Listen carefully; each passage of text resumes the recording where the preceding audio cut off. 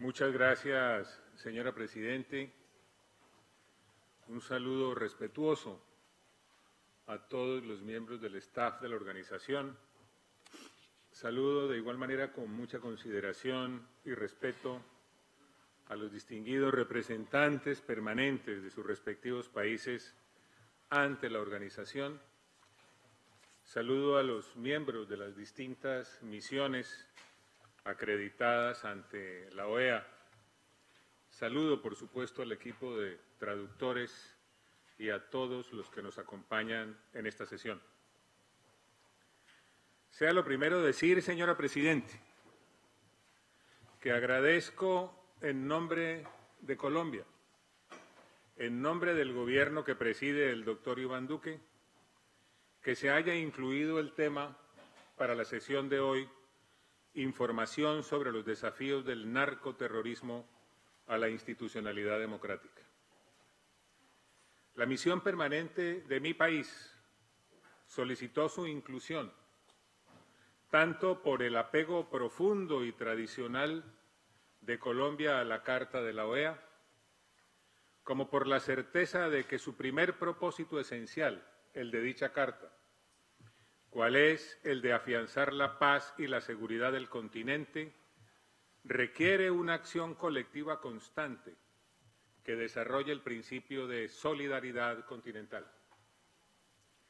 Tiene además esta sesión un especial simbolismo y significado, por cuanto se celebra el 11 de septiembre, un día luctuoso del año 2001, por el atentado terrorista que sacudió el mundo entero y le dio vida a la resolución 1373 del Consejo de Seguridad de la Organización de Naciones Unidas, así como con posterioridad a la Convención Interamericana contra el Terrorismo.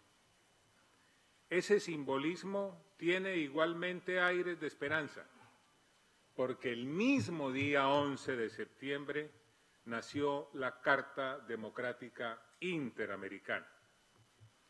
Y he venido hoy, en nombre del presidente de los colombianos, a hablar ante ustedes de los desafíos del narcoterrorismo.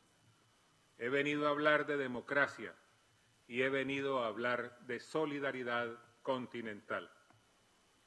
Estoy además de nuevo en este salón representando el gobierno de Iván Duque y a mis compatriotas para hacer un acto de fe en el sistema interamericano, un acto de fe en la Organización de Estados Americanos. Vengo, amparado en ese marco legal y político, como es tradición de mi país, a denunciar una nueva amenaza a la paz y la seguridad del continente, que tiene sus raíces en el pasado reciente y que reviste características más desafiantes, porque involucra la acción de un régimen dictatorial que le otorga albergue y apoyo a otro grupo narcoterrorista recientemente organizado. El pasado 29 de agosto se conoció un video en el que alias Iván Márquez y alias Jesús Santrich, dos fugitivos, y lo subrayo, dos fugitivos perseguidos por narcotráfico, abandonaron y traicionaron el proceso de paz con el que habían dicho comprometerse. Ellos y otros cómplices lanzaron una amenaza criminal directa contra la democracia. Anunciaron su vinculación con otra organización terrorista, el ELN, que tiene viejos vínculos con la dictadura de Nicolás Maduro. No nació entonces, para que haya claridad en esta augusta sala, una nueva guerrilla. Surgió otra banda narcoterrorista. Veamos, para empezar, un testimonio insuperable sobre la visión del régimen de Maduro respecto de los grupos terroristas FARC y ELN pido su atención para que quede claro desde el inicio de esta presentación de qué manera se ha visto de parte de ese régimen a las FARC y al ELN. Les ruego el favor que dejen escuchar el video, por favor. Y el ELN no son ningunos cuerpos terroristas, son ejércitos, verdaderos ejércitos. Son verdaderos ejércitos que ocupan espacio en Colombia, que ocupan un espacio. Hay que darle reconocimiento a las Fuerzas Armadas Revolucionarias de Colombia y al Ejército de Liberación Nacional de Colombia. Son fuerzas insurgentes que tienen un proyecto político, que tienen un proyecto bolivariano, que aquí es respetado, es respetado.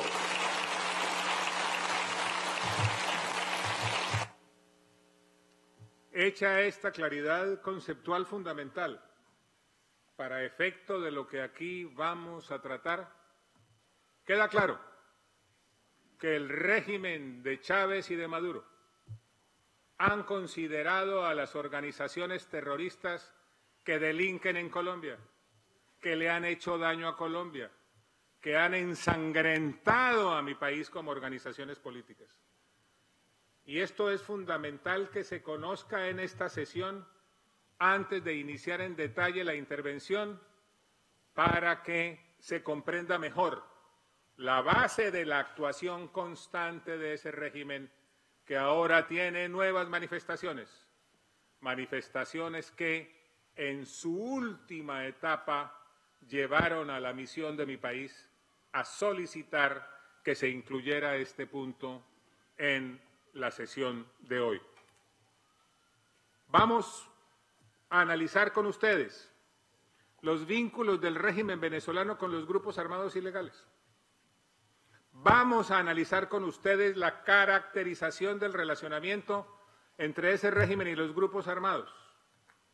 Vamos a ver cómo es la presencia del ELN en Venezuela desde el punto de vista de sus vínculos estratégicos, operacionales y tácticos. Vamos a ver cómo ha evolucionado el ELN en Venezuela. Voy a mostrarles qué está sucediendo con los grupos armados residuales en Venezuela. Voy a explicarles cuál es el significado del nuevo anuncio de alias Iván Márquez, alias Santrich y otros de sus cómplices. Y finalmente haré algunas consideraciones finales. Los vínculos del régimen venezolano con los grupos armados ilegales es un fenómeno criminal que tiene más de dos décadas. El relacionamiento entre los dos actores ha sido expuesto continuamente por el gobierno colombiano, además de otros países, actores, analistas y organizaciones que se han ocupado de esta materia. Simplemente para ilustración de ustedes, algunos hechos relevantes. En el año 2002 se denunció la existencia de campamentos de las FARC en el estado de Zulia.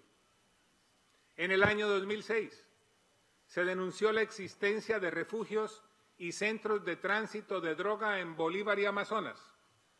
En el año 2008, los computadores del fallecido alias Raúl Reyes revelaron vínculos de alias Rodrigo Granda con autoridades venezolanas. En el año 2005 se denunció la existencia de campamentos de FARC en Bolívar y Apure, además de presencia en Amazonas.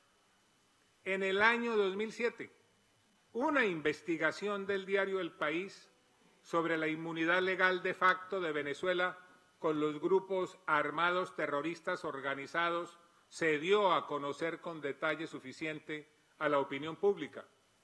En el año 2008 también, el Departamento del Tesoro de Estados Unidos sancionó a altos funcionarios venezolanos por su apoyo a las FARC. En el año 2010, en este mismo salón, el entonces embajador de Colombia denunció la presencia consolidada, activa y creciente de las FARC en Venezuela, momento en el cual se hablaba de 1.500 hombres en armas de esa organización en Venezuela. En el año 2011, el comandante general de las fuerzas militares denunció la presencia del ELN en territorio venezolano. En el año 2012, un informe del gobierno de Estados Unidos denunció la permanencia del ELN y de las FARC en Venezuela. En el año 2015, un informe conocido de la Dirección General de Contrainteligencia Militar informó sobre la presencia de varios cabecillas de FARC y ELN en Venezuela. En el año 2016, el gobernador de Amazonas, Estado venezolano, denunció la presencia de cerca de 4.000 hombres en armas de las FARC y el ELN. En los últimos tres años, los grupos armados ilegales han pasado de tener una retaguardia estratégica a constituir un enclave criminal en Venezuela con el beneplácito del régimen de Nicolás Maduro. Las FARC y el ELN se han afianzado mucho más en las últimas dos décadas como resultado de sus afinidades ideológicas con los gobiernos de Chávez y Maduro e intereses económicos cada vez más superpuestos. Es lo que dice el International Crisis Group en febrero de este año. El ELN es ampliamente tolerado por autoridades venezolanas abro comillas, el grupo es capaz de operar con casi total impunidad gracias a los cercanos lazos que tiene con las fuerzas de seguridad, dice el Inside Crime en un informe de marzo del presente año. ¿Cuál es la caracterización de ese relacionamiento entre ese régimen y los grupos armados ilegales? los grupos terroristas, los grupos narcoterroristas. Esa relación de la dictadura venezolana con esos grupos, por supuesto que es de mutuo beneficio. Y son varios los factores que determinan el, tipo de vínculo existente. El primero de ellos tiene que ver cuando se los considera como instrumento para garantizar la continuidad del régimen. El segundo nace de los réditos que les dan las economías criminales. Y el tercero tiene que ver con la manera como se desarrollan dichas actividades a raíz del establecimiento de relaciones personales. ¿Qué recibe el régimen? El régimen recibe respaldo político y control social en zonas de injerencia de los grupos. ¿Y qué reciben los grupos? Reciben protección, reciben apoyo logístico, reciben entrenamiento y reciben armamento. ¿Dónde está el ELN en Venezuela? ¿Dónde y cómo actúan? El frente de guerra, como puede verse en el mapa que se está mostrando en este momento, está en la frontera y tiene asentamientos permanentes en Venezuela. El frente de guerra norte tiene 10 zonas campamentarias en Zulia, la serranía del Perijá. El Frente de Guerra Oriental tiene 20 zonas campamentarias en Apure, Bolívar y Amazonas. El Frente de Guerra Nororiental tiene 20 zonas campamentarias en el Táchira. Esto está bien detallado en el mapa que en este momento se ha puesto a la vista de ustedes para que sea analizado con el detenimiento que ustedes deseen. ¿Y qué actividades tienen? Tienen actividades criminales y, por supuesto, actividades tendientes al fortalecimiento armado. ¿Cómo se dinamiza la actividad del EN en Venezuela? la actividad del ELN en Venezuela se dinamiza naturalmente por los vínculos de esa organización con el régimen venezolano. Relacionamiento que se produce a tres niveles. Se produce a nivel estratégico, en el cual intervienen altos funcionarios del régimen. Se dinamiza y se ejecuta a nivel operacional con las fuerzas e instituciones de seguridad y se desarrolla y dinamiza desde el punto de vista táctico en virtud del relacionamiento con los colectivos. Relacionamiento con los colectivos y con las milicias. Ustedes pueden ver en el mapa que en este momento tienen a su disposición los estados, las zonas fronterizas, y aquí están las distintas convenciones que les indican a ustedes dónde están las áreas, dónde están los cabecillas en el área, dónde están los campamentos en el área, dónde hay redes de apoyo, dónde están las áreas de finanzas, cuáles son las zonas de presencia, dónde se encuentran las pistas clandestinas, dónde está el arco minero, cuál es el límite internacional, los límites departamentales y límites municipales con Colombia. Esto además se refleja en la práctica. En 2.402 hombres en armas y 1.043 hombres en Venezuela. ¿Cuáles son? Teniendo en cuenta las tres áreas, el área estratégica, el área operacional y el área táctica, ¿cuáles son los vínculos del ELN con el régimen? Quien está encargado de liderar esos vínculos con el régimen y su entorno es alias Lenin del Frente de Guerra Oriental y el denominado protector del Táchira y líder nacional de los colectivos, ha ganado preponderancia por ser el enlace entre el régimen y el grupo armado. ¿Cuáles son y cómo se reflejan los vínculos operacionales?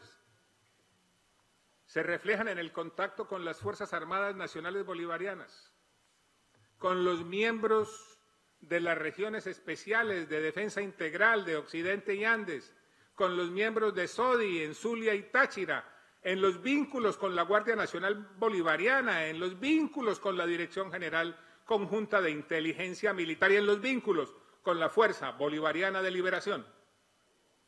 ¿Y cómo? Tiene lugar el ejercicio de las operaciones tácticas desde el punto de vista táctico. El ELN desarrolla acciones de coordinación con los colectivos en frontera, con los colectivos, lo que ha cambiado la forma en que la organización se relaciona con actores armados legales e ilegales en esa zona. ¿Y cómo se coordinan? ¿Y cuál es el resultado de esa coordinación? Baste recordar los episodios del 23 de febrero cuando se trató con sentido humanitario, con ayuda de muchos países, de llevar ayuda humanitaria al hermano pueblo de Venezuela cuando el régimen negaba la existencia de una crisis humanitaria. Pues aquel apoyo y esa coordinación se reflejó en que contribuyeron a evitar la entrada de la ayuda humanitaria el 23 de febrero. Pero no solamente eso. Esos vínculos tácticos y acción táctica conjunta se reflejan en ayuda financiera. El Frente Efraín Pavón del ELN patrocina a un colectivo en la frontera. Y no solamente eso, también esa operación táctica los lleva a participar en economías criminales, toda vez que controlan y cobran por el tránsito en los pasos ilegales. Pero además, les sirve también para recibir apoyo logístico. Tanto es así que alias Antonio García del ELN se comprometió a entregar vehículos y radios. ¿Cómo ha evolucionado el ELN en Venezuela, esa organización terrorista que tiene presencia en Venezuela de vieja data? De una etapa en la cual su presencia era esporádica, se pasó a un proceso de asentamiento permanente. Óiganme bien, distinguidas y distinguidos representantes permanentes. asentamiento permanente. Además de los vínculos con el régimen, el grupo armado ha implementado un proceso de incrustación social en los territorios venezolanos de frontera, pero no solos. Naturalmente tal crecimiento no puede hacerse en solitario ni en forma independiente. Para ese crecimiento, por supuesto, han contado con el apoyo de autoridades venezolanas. ¿Cómo lo han hecho? No han hecho uso de la colonización armada. Están tratando de vincularse con el apoyo de las autoridades a la comunidad y buscan respaldo de grupos armados locales, los colectivos. Óigase bien, queridas y queridos representantes permanentes, vínculo con los colectivos. Tratan de promover procesos de organización comunitaria y facilitan la entrega de las conocidas cajas CLAP. ¿Qué se busca con eso? ¿Hacia dónde van? ¿Cuál es el propósito que los anima a unos y a otros? Los anima a la continuidad del régimen, mantener su relevancia y acceso a los negocios criminales y actuar en un nuevo rol como actores de seguridad para las autoridades regionales. Es la imbricación, es el trabajo conjunto, es la acción estratégica, es la acción operacional y es la acción colectiva táctica. ¿De esto qué surge? Naturalmente, de eso se desprenden inmensos riesgos para la seguridad nacional. ¿Por qué más riesgos para la seguridad nacional? Porque un ELN más posicionado en territorio venezolano con la protección del régimen genera nuevos elementos de inseguridad a la paz y la tranquilidad en la región, pero además la conformación de un enclave criminal en virtud de la presencia de una organización terrorista en ese Estado les permite también eludir las acciones en su contra, es decir, les facilita que se burlen los deberes naturales de los Estados en materia de lucha contra el terrorismo y eso sí que es importante recordarlo hoy. 11 de septiembre, hecho atroz que conmovió la conciencia de la humanidad por la virulencia de ese acto terrorista que además lanzó el mensaje claro de que aquí no había objetivos específicos, sino que el objetivo del terrorismo es la humanidad entera. ¿Y qué ha pasado ahora con los grupos armados residuales en Venezuela? Es decir, esas nuevas organizaciones, nuevas bandas terroristas, es decir, esa, cuyo nacimiento anunció recientemente alias Márquez y alias Jesús Santrich. Les ruego el favor de darle una mirada también a este mapa que está en la documentación que por supuesto hará parte integral de esta sesión. Pero baste decirles que los grupos residuales, grupos terroristas, mantienen vínculos con las autoridades venezolanas de tipo local y regional y allí están señaladas las zonas en las cuales esos vínculos existen. Ejecutan actividades logísticas, económicas y de control social entrenan milicias y controlan también algunos pasos fronterizos. Aquí hay un denominador común. Mm, vuelve atrás, por favor. Aquí hay un denominador común en todos los elementos, hechos, evidencias que estoy poniendo en conocimiento de ustedes. Ese elemento común que se refleja en todo en la presencia de las FARC, antes y hoy en la presencia del ELN, antes y hoy y en la presencia de nuevos grupos armados residuales en Venezuela. El elemento común es el vínculo con las autoridades venezolanas, bien sea de tipo nacional, de tipo local o de tipo regional. Allí están también en las convenciones para el análisis de ustedes cuáles son las zonas, cuáles son los campos, ¿Cuáles son las áreas de presencia? ¿Dónde está el arco minero y dónde están las pistas de aterrizaje?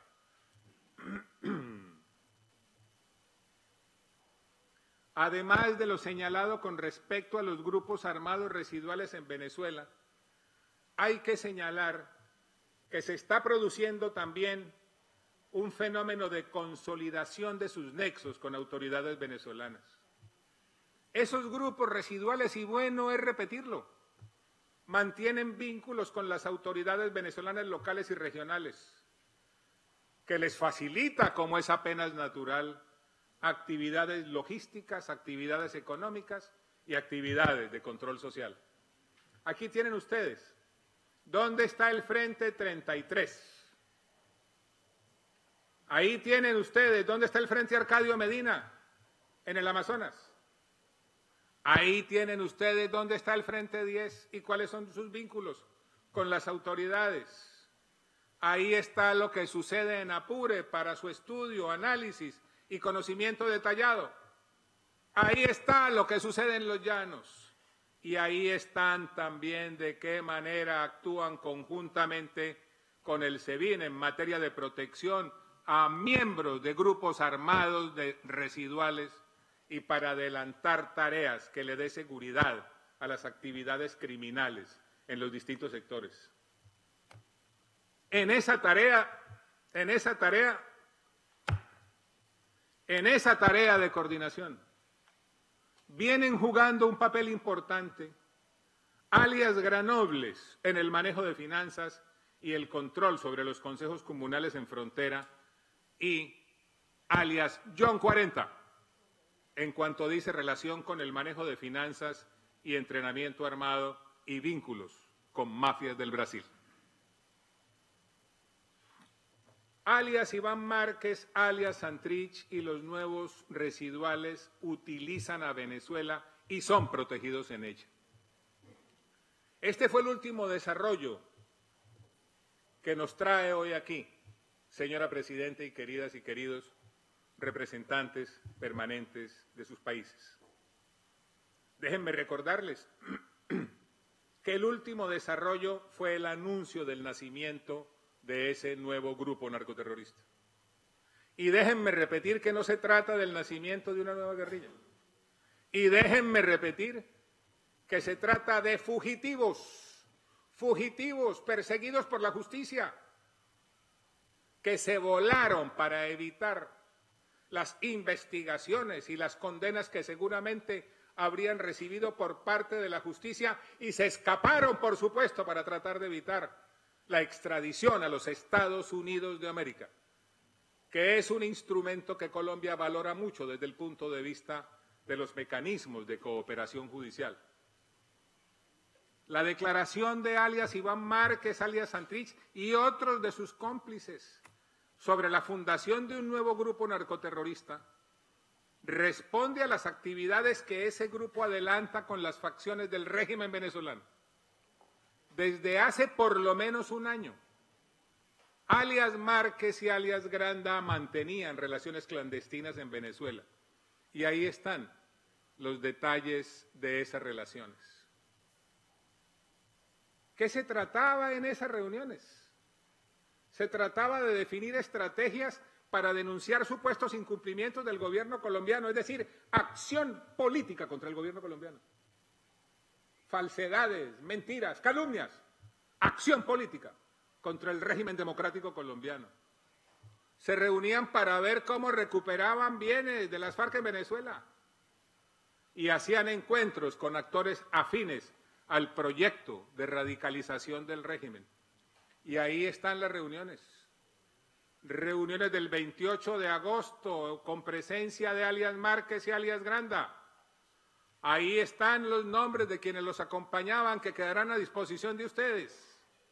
Ahí están las reuniones en el estado Apure y el nombre de los participantes y ahí están los aspectos que eran tratados. La creación de bloques políticos, la creación de apoyo y movimiento de tropas y movimientos e entrenamientos a milicias del ELN y de los GAO residuales. Y ahí están también reuniones con la participación de los mismos actores ilegales para hablar de protección por parte del régimen, para hablar de traslados e identificación en caso de no recibir beneficios de la JEP. La JEP es la Jurisdicción Especial para la Paz. La JEP es un sistema que se creó como consecuencia del acuerdo negociado y firmado por el anterior gobierno y las FARC. La JEP es el mecanismo de justicia transicional el cual se comprometieron a respetar y que resultó irrespetado, violentado por parte de alias Márquez, alias Santrich y varios de sus cómplices. Antes de hacer algunas consideraciones finales, quiero dejarles escuchar otro testimonio incontrovertible sobre lo que es la posición del régimen chavista y madurista en relación con estas organizaciones terroristas. Y este testimonio es unos pocos días antes. Óigaseme bien, con el mayor respeto lo solicito. Unos pocos días antes del anuncio de alias Santrich y de alias Márquez de la creación del nuevo grupo narcoterrorista. Eh, Iván Márquez y Jesús Santriz son bienvenidos a Venezuela y al Foro de Sao Paulo cuando quieran venir. Son los dos líderes de paz. ¿Quiere repetirlo, por favor? Pocos días antes del anuncio de la creación del nuevo grupo narcoterrorista de parte de Márquez y de parte de Santrich. Eh, Iván Márquez y Jesús Santriz son bienvenidos a Venezuela y al Foro de Sao Paulo cuando quieran venir. Son los dos líderes de paz. No son palabras del gobierno colombiano, son testimonios incontrovertibles, líderes de paz, llamaba el dictador Maduro pocos días antes del nacimiento del nuevo grupo narcoterrorista a quienes anunciaron el nacimiento de dicha organización criminal. ¿A qué conclusiones nos lleva todas estas evidencias que he puesto en consideración de ustedes? Y anuncio que hay más detalles. Anuncio que hay más evidencias. Anuncio que hay más hechos. Anuncio que hay más fechas. Anuncio que hay coordenadas. Anuncio que hay todo tipo de evidencia sobre esos vínculos. Vínculos que se han desarrollado a lo largo de los años por la concepción que ha tenido el régimen del fallecido presidente Chávez y de Maduro en relación con esa organización terrorista. Recuerden el video, recuerden cómo los caracterizó el fallecido presidente Chávez y cómo ahora el dictador Maduro los llama líderes de paz líderes de paz, repito y excúsenme en la insistencia, pocos días antes de que los dos, esos llamados por Maduro líderes de paz, anunciaran el nacimiento de un nuevo grupo narcoterrorista. Algunas consideraciones finales antes de concluir, señora Presidente, y le agradezco mucho su benevolencia. El relacionamiento entre el régimen y los grupos armados ilegales no es nuevo. Data por lo menos de hace dos décadas y le ha permitido a las partes fortalecerse.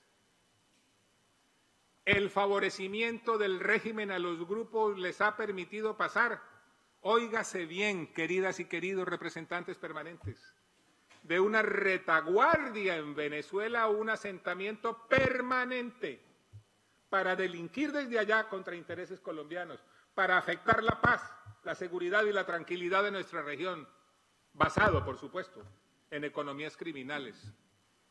El régimen, y hay evidencias de todo tipo que serán además llevadas por el presidente Duque a la Organización de Naciones Unidas, donde se denunciará el régimen por violación de la resolución 1373 del Consejo de Seguridad de Naciones Unidas que se expidió con motivo de los atroces acontecimientos del 11 de septiembre. El régimen utiliza estos grupos como un mecanismo de control social y de represión a la oposición y los considera como un escudo en la frontera. Así los consideran y así los tratan. Y la relación de cooperación entre los grupos armados ilegales y el régimen venezolano es señora Presidente, la mayor amenaza para la estabilidad democrática y la seguridad de la región. ¿Cuál es la gran conclusión de todo esto?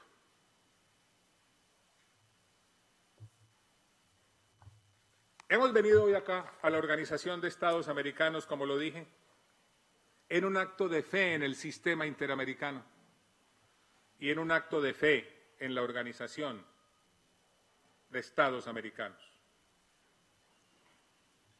Hay evidencias suficientes de la violación de las obligaciones por parte del régimen venezolano.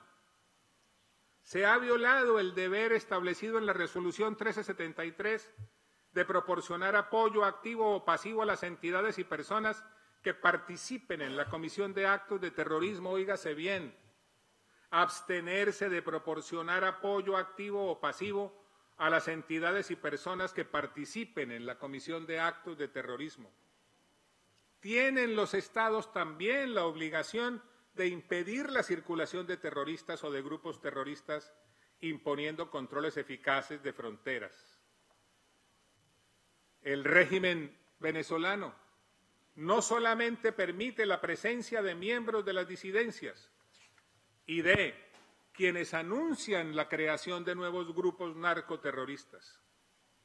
Bueno también es recordar antes de concluir que en los computadores de alias Raúl Reyes validados por, por Interpol hubo gran información que se ha venido ratificando a través de diferentes fuentes en el sentido de que hace más de 15 años, desde allá, se contribuía al desarrollo de la estrategia de guerra asimétrica del régimen venezolano que fue definida en su momento por el fallecido presidente Chávez.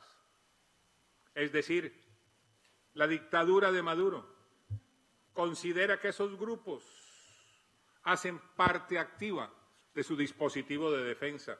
Imagino yo las preocupaciones que tiene hoy el ejército venezolano al ver esa realidad. Se preguntarán muy seguramente si los están utilizando para defender grupos de narcotraficantes o es que los quieren sustituir con nuevos grupos narcoterroristas. A la luz del derecho internacional, los ataques a una organización que tiene, los ataques de una organización que tiene apoyo, protección y patrocinio de un Estado hace responsable a ese Estado de los ataques. Pero no solamente se ha violado, queridas y queridos amigos, la resolución 1373 del Consejo de Seguridad de Naciones Unidas. Aquí tengo una de las grandes obras de esta organización, la Convención Interamericana contra el Terrorismo. Y por eso Colombia vino a la Organización de Estados Americanos porque nosotros creemos en la legalidad interamericana, porque nosotros creemos en el vigor de los mecanismos que aquí hemos construido colectivamente a lo largo de los años para hacerle frente a amenazas colectivas. Vinimos aquí a hablar de juridicidad, a hablar de legalidad, a hablar de mecanismos jurídicos de acción colectiva, porque tenemos plena conciencia de que esta organización es pionera pionera en la construcción de elementos y de mecanismos comunes para hacerle frente a riesgos comunes. Es pionera hasta el punto de que muchas otras zonas del mundo con posterioridad han seguido nuestro ejemplo. Es pionera incluso desde su nacimiento y organización. Es pionera desde la concepción. Es pionera en materia de organismos técnicos para definir acciones en la lucha contra el problema mundial de la droga. Es pionera en la definición de mecanismos para combatir la corrupción y es pionera también en la definición de herramientas para combatir colectivamente el terrorismo. Y esta Convención Interamericana contra el Terrorismo tiene fecha del 2002, pocos meses después de aquel día atroz, que hoy está siendo recordado con horror por la humanidad, pero también como una invitación a actuar colectivamente. Aquí está la, Convención Interamericana contra, contra el Terrorismo. ¿De dónde nace la Convención Interamericana contra el Terrorismo? Nace de la Carta de la Organización de los Estados Americanos. nace del propósito colectivo de prevenir, combatir y eliminar el terrorismo en todas sus formas y manifestaciones. Nace de esa decisión política que tomaron los ministros de Relaciones Exteriores del momento y que se materializó en el mandato que recibió el Consejo Permanente para proceder a la elaboración de un proyecto de convención interamericana contra el terrorismo. Y nace de la convicción colectiva en el sentido de que el terrorismo es no solamente un grave fenómeno delictivo, sino que él, ese fenómeno delictivo, es materia de preocupación para todos los Estados miembros de la organización. Pero no solamente eso, porque aquí hemos venido a hablar de legalidad, legalidad para defender la democracia, legalidad para combatir el crimen, legalidad para hacerle frente a todas las formas de terrorismo, como lo hace el gobierno de Colombia. No hemos acudido a los medios para hablar de esto, venimos al escenario en el que corresponde hacer estas denuncias y hacer estas reflexiones. Pero además lo hacemos convencidos de la bondad que tuvieron los miembros de la Organización de Estados Americanos cuando en el propio texto de la Convención contra el Terrorismo resolvieron señalar todo el acervo legal que nos compromete colectivamente para efecto de luchar contra el terrorismo en las distintas áreas. Qué bueno que aquí se hable de los instrumentos internacionales aplicables para prevenir, sancionar y eliminar el terrorismo. Qué bueno que aquí, en esta convención, se mencione que el objetivo es avanzar hacia la más amplia cooperación. Qué bueno que aquí se estén señalando cuáles son los tipos penales que deben combatirse colectivamente. Qué bueno que en esta convención se señalen las medidas internas. Qué bueno que esta convención establezca obligaciones individuales para los distintos estados en materia de prevención, combate, erradicación y financiación del terrorismo, de embargo y decomiso de fondos y otros bienes, de delitos determinantes del lavado de dinero, de la cooperación en el ámbito fronterizo. Qué bueno que aquí estén consagradas Convención Interamericana contra el Terrorismo, de la cooperación entre las autoridades competentes, de la asistencia mutua, del traslado de personas bajo custodia. ¿Qué visión tuvo esta organización en el momento en el cual, aprobando la Convención Interamericana contra el Terrorismo, habló de la inaplicabilidad de la excepción por delito político? Para efecto de que no se pudiese hacer mal uso de ese criterio para efecto de avalar, lo cual es inaceptable, acciones terroristas. Qué bueno poder decir hoy en el seno de la Organización de Estados Americanos que Colombia viene a pedir que saquemos adelante desde el punto de vista de las acciones todas las medidas de cooperación para efecto de combatir eficazmente el terrorismo en un momento en el cual se anuncia una nueva amenaza, se anuncia el nacimiento de un nuevo grupo narcoterrorista y ese grupo narcoterrorista tiene el amparo, tiene el cobijo de un régimen, de un régimen dictatorial y tiránico. Viene Colombia a pedir que se avance en acciones efectivas dentro del marco del derecho internacional para detener la amenaza a la estabilidad de nuestra región que representa la alianza entre la dictadura de Maduro y el narcoterrorismo. Aquí la última evidencia. Como es propio de ese tipo de regímenes, recientemente se anunció lo que se llama alerta naranja en la frontera colombo-venezolana. ¿A qué responde esa bravuconada? Corresponde a una estrategia de disuasión del régimen. Es una estrategia del régimen para responder a la presión internacional ante las evidencias palmarias relacionadas con la vinculación de ese régimen con organizaciones narcoterroristas desde hace mucho tiempo y que continúan mostrando nuevos episodios, nuevos hechos y nuevas evidencias. andan denunciando supuestas acciones terroristas organizadas por Colombia, háganme el favor. Los pájaros tirándole a las escopetas. Colombia viene apelar a la legalidad y a los instrumentos internacionales, mientras allá se amenaza, se vocifera, se emiten improperios, se le abre la puerta al narcoterrorismo, se generan vinculaciones, se estimulan esas vinculaciones. Colombia ha sido un país pacifista que cree en estos mecanismos, que ayudó a crearlos, que los ha venido fortaleciendo a lo largo de los años y que ha tenido la honra inmensa de haber contado con dos brillantes e ilustres colombianos como secretarios generales de esta organización. Pero además aprovecha esos ejercicios o como quieran llamarlos para presentarlos como reacción a la aparente agresión de Colombia. ¿Cuál agresión de Colombia?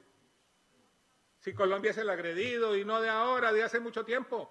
Y es el agredido porque el fallecido presidente Chávez consideraba que las FARC y el ELN no eran terroristas. Ahí ustedes lo escucharon y es el agredido porque ya oyeron ustedes al dictador Maduro decir que bienvenidos quienes días después anunciaron la creación de una nueva organización narcoterrorista, agredidos nosotros.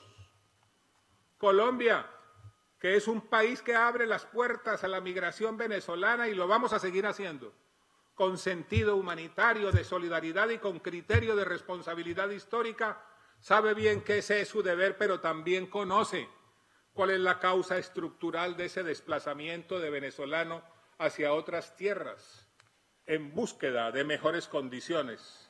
Es una pura intensificación de propaganda. Corresponde a una estrategia de disuasión a través de operaciones psicológicas. Se da como respuesta, como si se pudiera tapar el sol con las manos a estas evidencias que se conocen no solamente acá, son evidencias ya conocidas por el mundo entero. Ya escucharon ustedes los análisis del Crisis Group, ya recordé lo que han sido decisiones de los Estados Unidos en el pasado, ya vieron ustedes organizaciones dedicadas al análisis de fenómenos criminales lo que señala en esta materia. ¿Por qué vinimos hoy aquí? Ahí están también para conocimiento de ustedes los detalles de los ejercicios el discurso contra Colombia desde hace tantos años. Vinimos hoy aquí otra vez, porque mi país, que tanto ha sufrido a lo largo de los años, porque Colombia, que viene luchando desde hace décadas para recuperar su convivencia, mi país que ha tenido éxitos y fracasos, mi país que ha tenido avances y retrocesos. Mi país que ha tenido momentos de júbilo y muchos momentos de perturbación y de tragedia. Mi país que por encima de todo ha estado siempre abierto a construir salidas políticas para situaciones particulares de violencia agobiante, ha tenido la característica a lo largo de los años, y aquí están para que sean consultados por quien así lo desee los archivos en la Organización de Estados Americanos sobre la actuación de Colombia en distintas etapas, cuando quiera que ha sido necesario acudir a los mecanismos de acción colectiva previamente contemplados para defender la paz, para defender la estabilidad, para defender la democracia y para avanzar en la restauración de la democracia. Hemos venido aquí porque vamos a continuar, esa es la política del presidente Iván Duque Márquez. Vamos a continuar trabajando mediante medios políticos y diplomáticos y vamos a continuar haciendo estas denuncias, acogidos a la legalidad internacional, apelando a los instrumentos vigentes para avanzar en la creación de esas condiciones que conduzcan finalmente a que los hermanos venezolanos puedan vivir otra vez en democracia y libertad. Al final de cuentas, de eso es de lo que se trata. Esta organización que nació para defender la democracia, esta organización que el 11 de septiembre también le dio vida a la Carta Democrática Interamericana, es el escenario de legalidad y el escenario político para hacer estas denuncias de vinculación del régimen de Maduro con tantas organizaciones narcoterroristas. Les hacemos un llamado a que pongamos en marcha todos estos mecanismos. Les hacemos un llamado a que pongamos en marcha todas estas herramientas definidas en la ley, en los instrumentos, en las convenciones y en el espíritu que le dio nacimiento a la Organización de Estados Americanos. Avancemos juntos en la defensa de la democracia, combatir el narcoterrorismo, aplicarle las sanciones a los estados que favorecen y protegen el narcoterrorismo es el mejor homenaje que se le puede hacer a, a los fundadores de la Organización de Estados Americanos. Esa es la invocación que Colombia viene a hacerles hoy. Muchas gracias, señora Presidenta.